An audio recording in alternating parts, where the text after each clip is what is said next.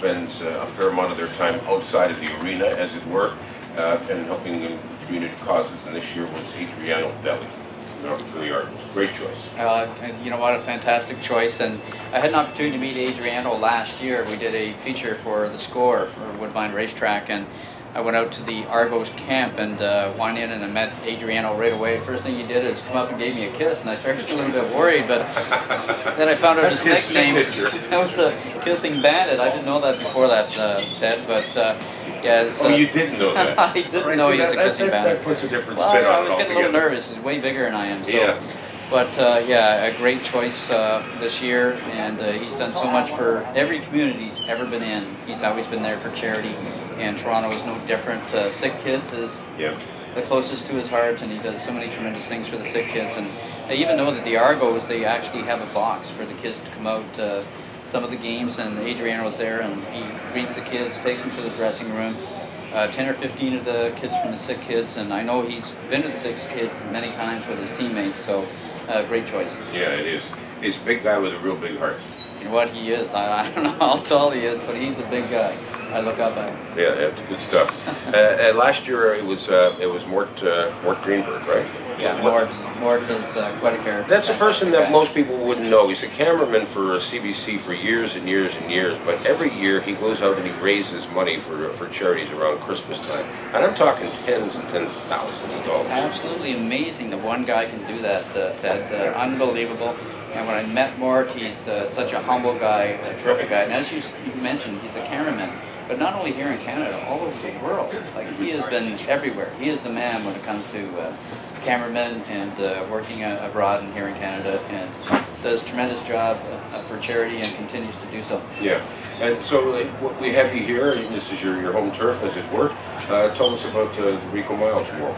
Well, the Ricoh Mile, we have 12 horses, a very competitive field. We've got uh, five horses uh, here from our hometown turf.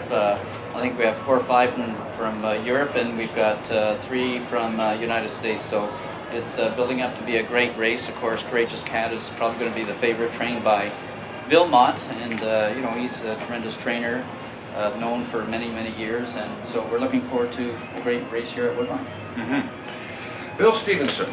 Well, let's talk a little bit. We've got a few more minutes before we before we wrap all this up. Uh, I know initially when I called you, because I had the honor of doing so, having been on the board of directors at, uh, at the Hall of Fame at the time, to tell you that um, that you had been selected to win the Brian Williams Award, uh, which you uh, obviously you, you, were, you were excited. I know you were excited about it, but I don't know if it, whether you the, the sort of the whole concept hit you until we went that one day to the press conference about three months ago. Am I right? Well, you're you're right about that. But the thing, um, I don't. People who weren't here won't understand this. But this was just a first-class affair. I mean, it was an extremely well-done affair, and I've got to say that all the athletes, you know, from Wendel Clark and uh, all of them, spoke so well. I have been at many, many affairs, as you have, Ted, over the years, and usually you get people that are long-winded and people are shuffling in their seats. This is one of those sports award affairs that I can truly say was done just 150%. Each one of the athletes of the, the recipients spoke well, had some humor, and didn't go long.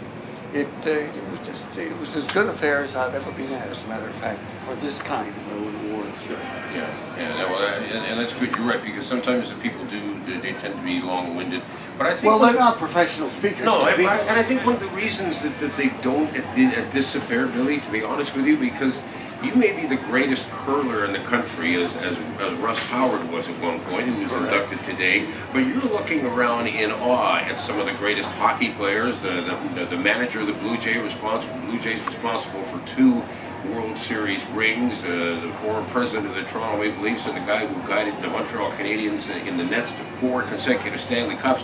Everybody is in awe of the next guy, and so you're thinking, if he only spoke for a few minutes, I'm going to look like a real goof if I go for eight or nine minutes, because you can't put yourself, elevate yourself to a higher level than anyone else that's there. Do you think work with that one at all? I agree 110%, and uh, like Bill hit the I don't right agree at all. You and I never. You agree. guys always agree. Oh, you never agree. That's right. I've been to too many affairs where it doesn't matter how short somebody goes, there's always somebody else. Yeah. And the reason is they keep thinking of things they have to say and they don't realize how long they're up there. But anyway, that's not the point. The point Bill- is Bill really, hit the nail on it's well head. done. It was a fantastic day, and uh, speeches were short, and as Bill mentioned, there was some humor in there. Uh, it was a great time. Yeah, And you, Teddy, being on the committee, you're to be congratulated. not really. Yeah, well, you're to be congratulated being back on the air for CFRB. I couldn't get back on. So you guys agree to disagree? There you Yeah, there you go. We, uh, in all the years that, that that Billy and I you worked together, I, I don't think it was probably seven or something that we were together on, on the morning show. I, I think we had an argument once, and I think the result of that argument was we didn't uh, talk to each other for about an hour and a half. That was it. He- He's not the kind of guy that you'd want to get into an argument with to begin with. Uh, way too much reverence, and and secondly, there was just never any reason for it. We you guys Go away all the hugged and made yeah.